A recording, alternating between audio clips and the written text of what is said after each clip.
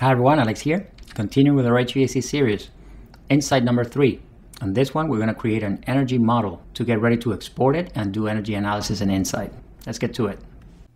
Hi everyone, this is Alex with BIM It Up, where we help you with professional training and coaching in mechanical, electrical, plumbing, fire protection systems, and Autodesk platforms like Revit and AutoCAD MEP.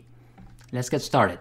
Just summarizing, if we go here under Analyze, we gave the building a location, right? That's our location. So we have our weather station, we have our weather information pulled out of that weather station. And now we're going to create an energy model that is based on some energy settings.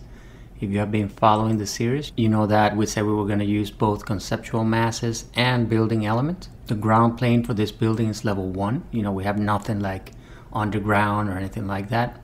Uh, this is new construction, brand new construction. We don't have phasing or anything. We're okay with an analytical space resolution of 457 millimeters. This is like, you can imagine is the smaller this number, the more granular you can be. Um, we're gonna leave all the other defaults. Let's click into other options a second. Remember we were targeting a percentage glazing of 60% and we had said that this building type was a school or university. We have a certain operating schedule. We said it's a uh, year-round school. We're gonna keep our export category of spaces. I don't know why by default we had this thing, but we don't have a split system. We have a central VAV with electric reheat. So let's just hit OK here. And before we move away from here, take a look at this perimeter zone depth. Okay, this is gonna come into play a little bit later. And now let's create our energy model. I'm going to click here, telling me that I'm about to create the energy analytical model. That's good. And it takes a little bit. And then it generates our energy model and it creates a new 3D view for us. I have another view here called system zones and then this is the 3D view that I had open here showing my masses, right? So these two new views were generated by the energy model. Like if I go to energy settings this depth that you see here, perimeter zone depth, that's what you see here. See? For example, this main corridor here, if I put it on top view, you can see that it almost gets to the middle of the skylight. So if I go to like level one mechanical plan, and what was that? 4572. And I do 4572 you see that that line gets to the middle of the skylight or to the middle of the stair. So that's what it is you know it's the depth of the perimeter conditions. Right so so far everything that we have seen is happening within Revit right? Now how do we push this up to the cloud?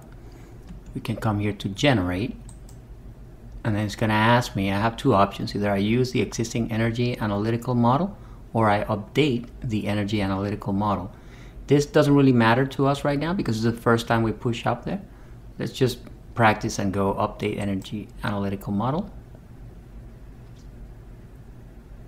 And now it's uploading all that to Insight.